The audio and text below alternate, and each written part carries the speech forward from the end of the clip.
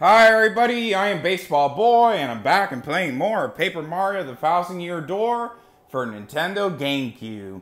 So in the last video recording session everybody, you all saw that I was exploring more of Rogueport and I also explored a new area in the game which is Twilight Town. So now in this video recording session everybody, we're going to continue exploring more of Twilight Town and explore another new area in this game. So, without further ado, let the Paper Mario The Thousand Year Door adventures and boss fights begin.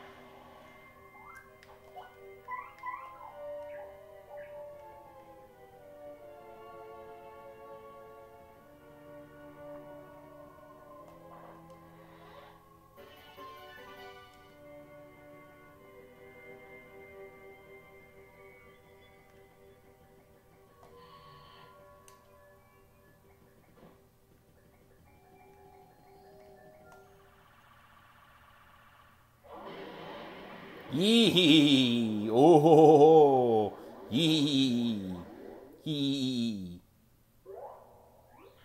Okay, it's quiz time, interlooper. Just now, when the box opened, how many of us boosts came out? Total. Good, very good. Take this, math nerd. See you, sucker.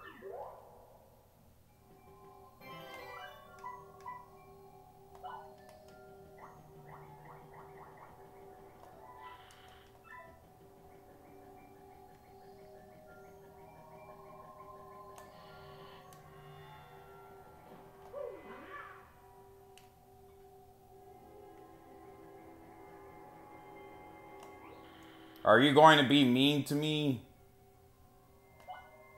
Then go away, meanie.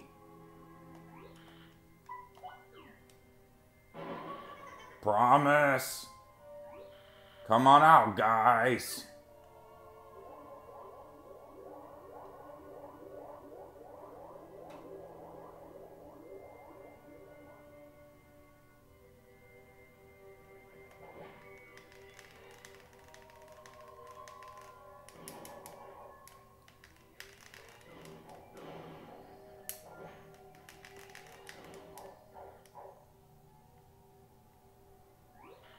Hee haw, he, you said you'd be nice.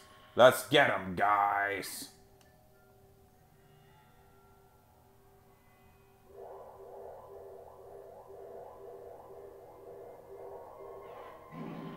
Yeah.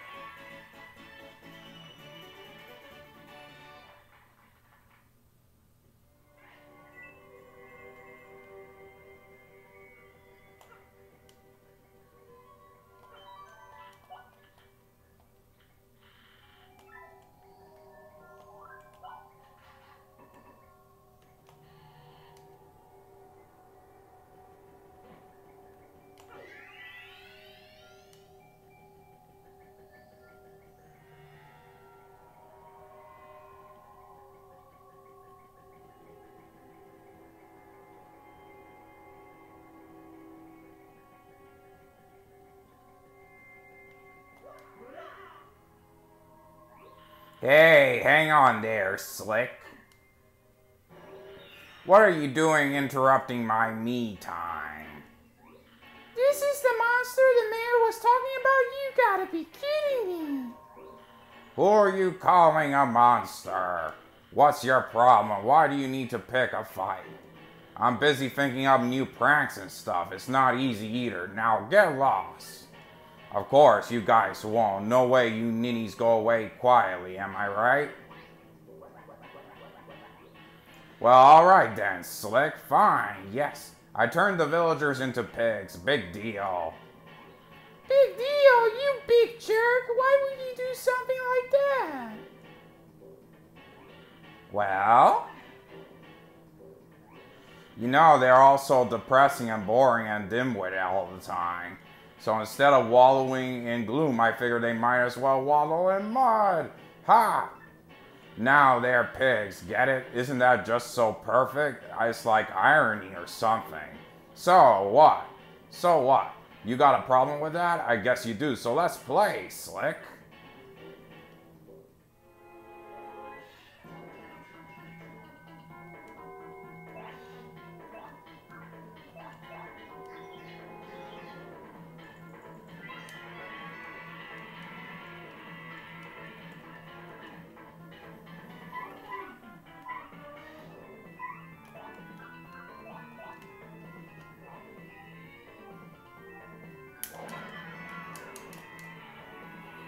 Yuck, yuck, yuck. I guess I'll get down and dirty if you're gonna play like that, Slick.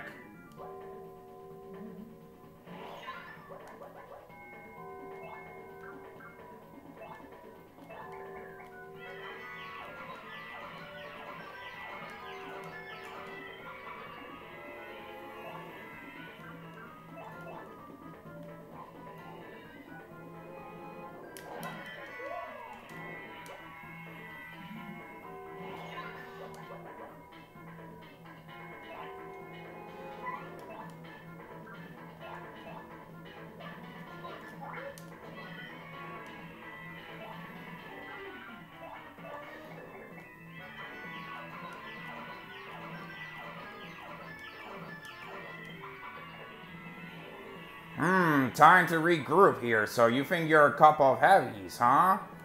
Well then, my dear friends, if you thought changing folks into pigs was impressive, then you're gonna love this. I've got something very special for you here.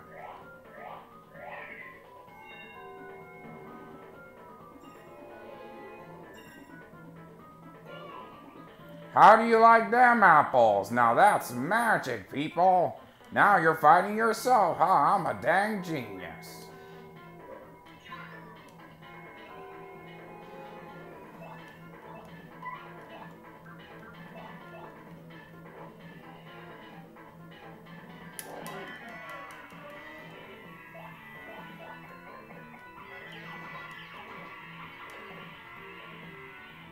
Yuck, yuck, yuck. Hold on, what? What? Huh? You beat me?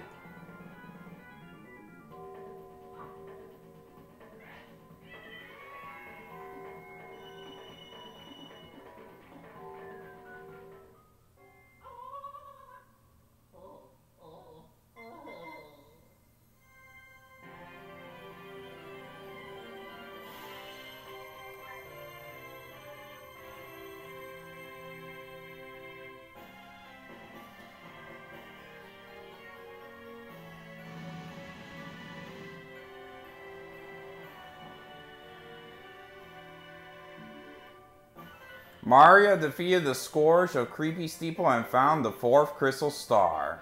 The people of Twilight Town have surely recovered from their awful curse by now. At this rate, Mario's quest to collect all seven crystal stars will be done in no time.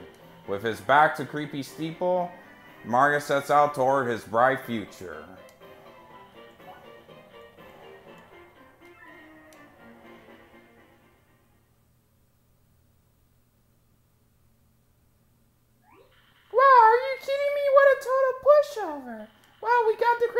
So let's get out of here.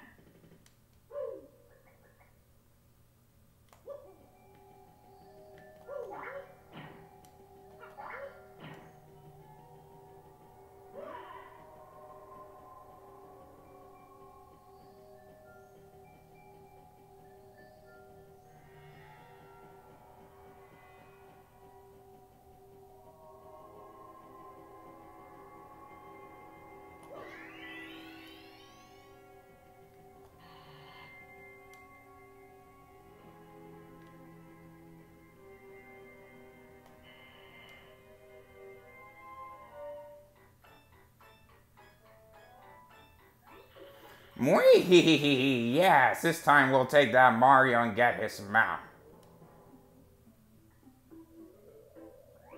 With this super bomb here, there's no way we can fail. No, not likely. Go. Vivian, hand me that glorious super bomb bomb bomb. Huh? Vivian, don't you dare. Does that huh mean what I think it does? I, I never had it. You were holding it just two seconds ago. You said it was too important to trust me with. Oh, you terrible liar. Stop making up stories to cover for yourself. If I don't have it, then obviously you must have it. And obviously you lost it. Or are you trying to imply that I lost it, you little loggy gaggling worm? I, no, of course not, Beldam. Well, we can't do much without it now, can we? Oh, you are such an idiot. Very well, I'm sure you must have dropped it around here somewhere. So why don't you look for it while Marilyn and I go take a well-earned siesta? And if you don't find it, well, you know what'll happen, do don't you? I, I get punished. That's right, you little twist, so get cracking. Come, Mar come, Marilyn, let's lead this useless little fool to her chore. Go.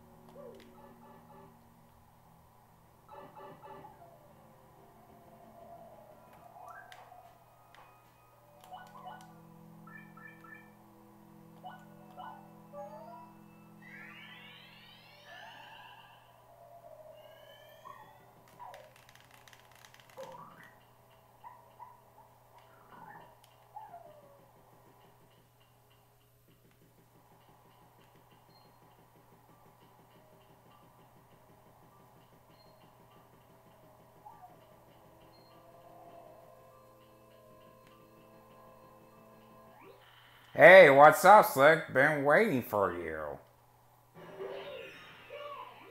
Yeah, you're Mario, right? What a great name. And I really dig this body too. Man, can I jump now? And hey, you're so popular around here, I get mobbed. I just love being you. Yeah, it's so cool. I don't think I ever want to stop. So, you figured it out by now, right, Slick? Your body and name belong to me now. See, I got the power to change my shape into anyone I want. It comes in handy. But to really be someone, I need to take their name and body too. Which means you turn into a shadow and can't use your name. Tough break, Slick. That's not enough either. I am to erase you for good. I guess it'd be unsporting to ruin you without a challenge, so I'll give you one chance. If you guess my real name, then I'll give you back your name and body. What do you say, Slick? This'll be fun, right? Now guess, what's my name? Hit me with your best shot.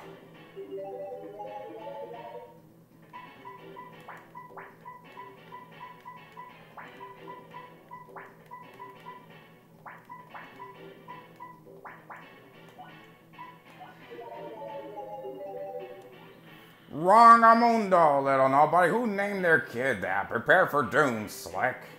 Yuck, yuck, yuck. And don't even think about running from battle here. No running.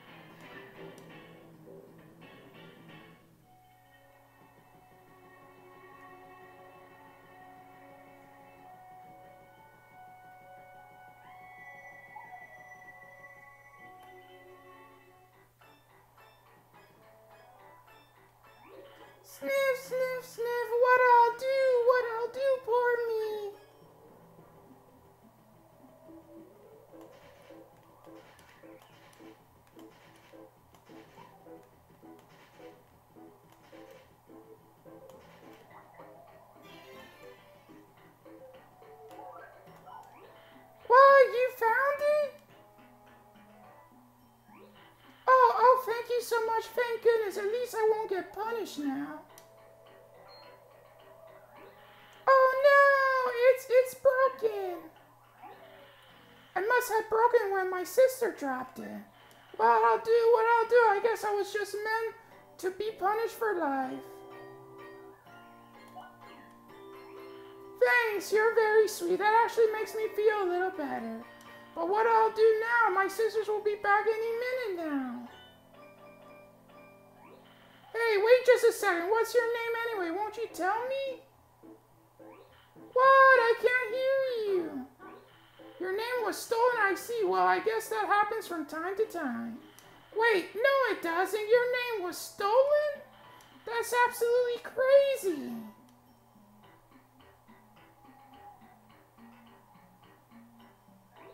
Gee whiz, you have way worse problems than I do. And you were worried about me that whole time? That's so kind. Alright, that's it. I'm going to help you get back your name and your body and your friends. Hey, that's okay. Don't worry about my problems. I'm not sure I really want to stay with my sisters anymore anyway. And I feel like I need to repay your earlier kindness. It's the right thing to do. So, here we go.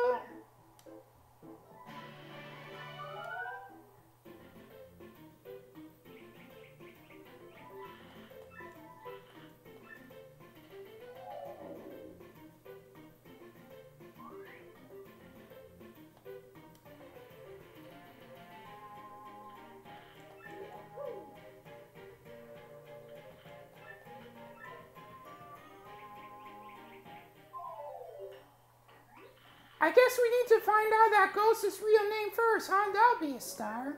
Now, how are we going to get that kind of information? Oh, hey, I have sort of an idea. Birds pretend to be innocent with people around, but they're actually really well informed from all that flying and eavesdropping. With my power, you can listen in on their conversation without them knowing. So, in addition to villagers, let's also try to get some info from the local birds. That's the least I could do for you with my powers.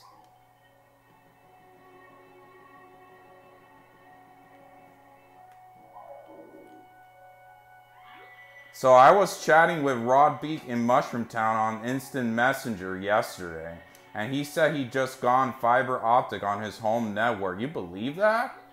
Rad, I bet he's downloading 100 meg apps with no problems on those fat pipes. He's probably surfing that Feather Club for Crown.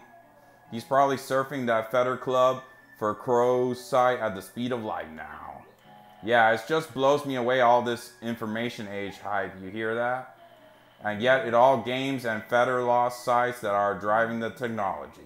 Yeah, but I think tech bust survivors can thrive if they get viable business models.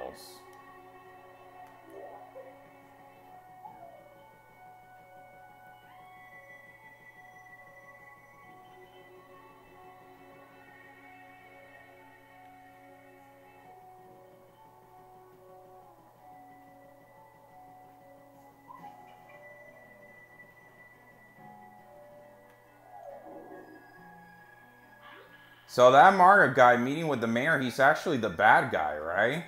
And nobody even knows. Humans are so dumb, it makes me want to peck their noses. The only soul that knows the bad guy's name is locked under creepy steeple, I hear. Because you know, if no one knows your name, then you can use unstoppable magic.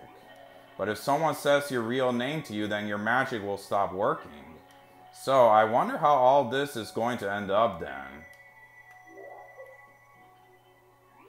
Did you hear that? If we search under Creepy Steeple, maybe we can find out that guy's real name. Let's go to Creepy Steeple.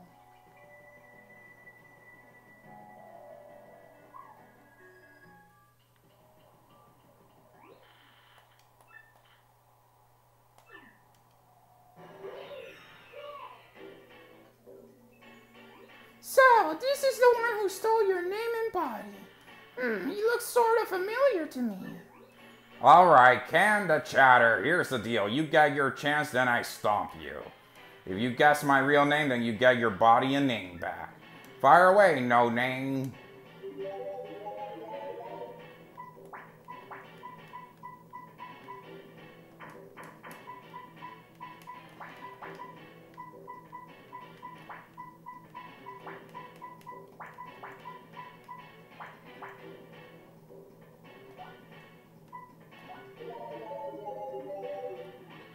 Wrong amundo, little nobody. Who names their kid that? Prepare for doom, slick.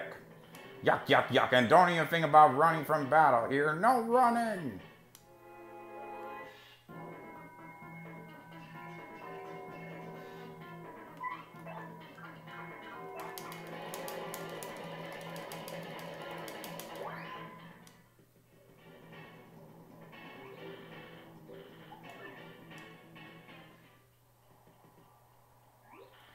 Must have been hiding there in ambush waiting for you to show up.